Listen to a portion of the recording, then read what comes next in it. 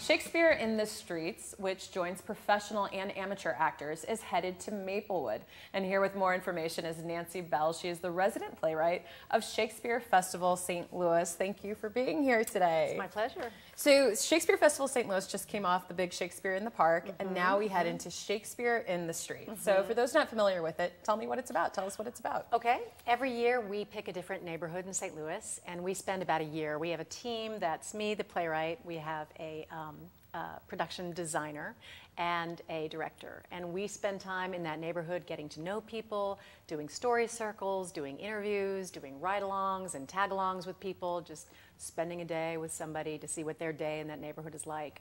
And we try to figure out what is unique about that neighborhood, what makes it special, what makes it different than every other neighborhood in St. Louis, and also what makes it the same, what we all have in common.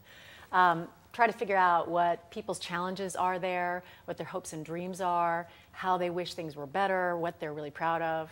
Uh, and then I take all of that, along with a little bit of um, uh, research about the history of that neighborhood. Okay. And um, I write a contemporary adaptation of a Shakespeare play okay. that is based on all of that. Very so interesting. Take a person that I meet, see if they remind me of someone in a Shakespeare play, and think, oh, um, like who could they be? Are they a. Juliet? Are they a Julius Caesar? And something will sort of surface about that person, like, oh, I get it. They're a little bit like Juliet because of this and because of that. And then I could take a little bit of their words and their life and a little bit of Shakespeare mm -hmm. and a little bit of what I experience with mm -hmm. them and um, create something that's really unique, which is the story of Shakespeare, the character of Shakespeare, but they speak like contemporary people and they talk about their life in St. Louis. Got it. So what is this year's adaptation? Which Shakespeare, Shakespeare play? Well, um, this year we're doing something a little bit different. Uh, we usually just pick a play and do it. Uh, but this year we're mashing up Hamlet and Midsummer Night's Dream. Okay. And as I was writing it, I also threw in a healthy dose of Macbeth and a nice little bit of Romeo and Juliet. Right, the top hits, right? Yeah, the... it's basically, you know, greatest the greatest hits. Somebody said, oh, so it's like Shakespeare threw up. Right, right, right. and so you put it all together. So how's, so out of curiosity, with Maplewood, what was sort mm -hmm. of the essence of that neighborhood that you got to then to apply it to this mashup of Shakespeare plays? Um, well, uh, Maplewood is a really unique place. Like every neighborhood we find in St. Louis, in some ways it's like, oh, it's typical St. Louis neighborhood. It's mm -hmm. a neighborhood in St. Louis. And then as you dig deeper, you're like, oh no, it's actually its own thing. And it's the same with Maplewood. Maplewood um, is characterized by a real sense of uniqueness mm -hmm. and um, a sense that they do things a little differently and they're really proud of that, that okay. they're forging their own way in the world. Uh -huh. They love to refer to themselves as maple weird. um, I think at one point that term was used as a pejorative for their neighborhood, right. and they've co opted it and decided to own it and say, mm -hmm. yeah, we're maple weird.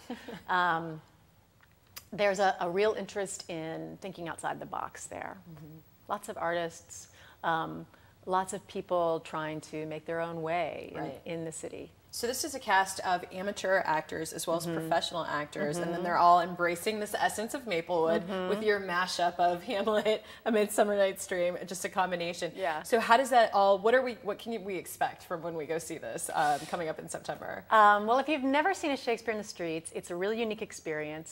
It's extremely fun. It's vibrant. There's a lot of energy. There's a lot of audience interaction. Um, there's live music. You're sitting uh, you're sitting in the middle of a city street watching yeah. a play, which is really exciting.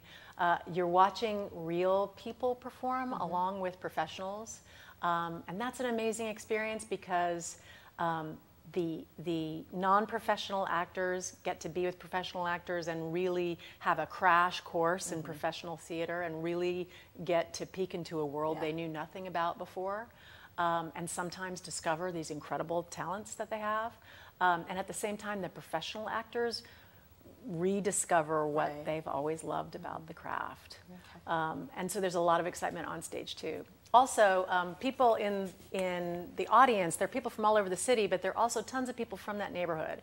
And they are watching their neighborhood yeah. and their life and their world. And, it, and because of that, it, it, it, it's a theater experience that's uniquely mm-hmm. relevant to mm-hmm. the audience. Right, and to that, and it's re- and reflective in, in a Right. in a unique way. Yeah. Well, it's Shakespeare in the Streets. It's taking place September 16th through the 18th. This year, the focus, the neighborhood, is Maplewood, and it's a unique, unique play this year because it's a mashup of Shakespeare's of the top hits, the favorite, greatest hits of Shakespeare.